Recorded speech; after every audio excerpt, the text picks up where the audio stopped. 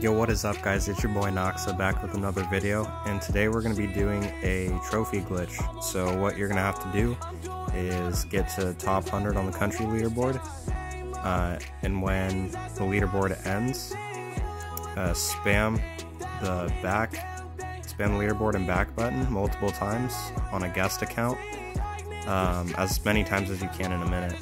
And then once you do that, you're going to go over to your main account and do the same thing. And if done correctly, uh, you should get at least three to 4,000 DNA. So, hope you enjoy. Watch the video, comment, subscribe.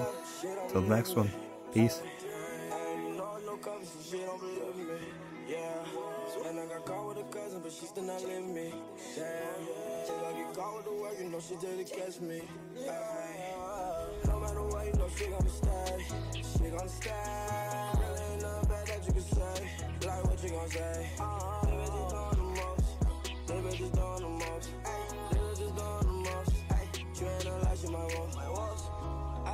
for a long time, but I treat her like my new thing. Not because you was my boo thing. What would you do with a pool